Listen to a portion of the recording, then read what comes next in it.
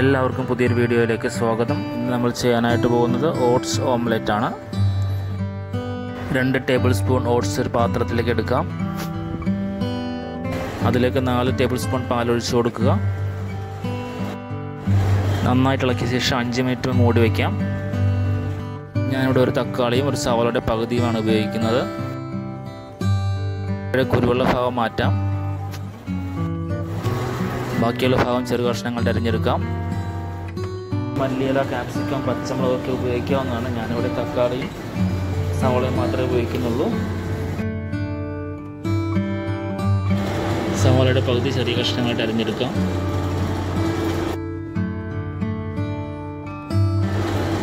അരിഞ്ഞു വെച്ച സവാളയും തക്കാളിയും ചേർത്ത് കൊടുക്കാം. ആവശ്യത്തിന് ഉപ്പ് ചേർത്ത് നന്നായിട്ട് ഇളക്കി കൊടുക്കാം.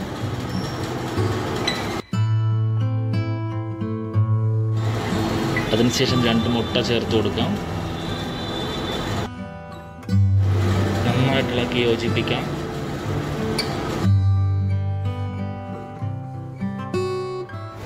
പാനിൽ വെളിച്ചെണ്ണ ഒടിച്ച ശേഷം മുട്ടയെല്ലാം വറുക്കുന്നത് പോലെ തന്നെ നോക്കി വറുത്തെടുക്കാം.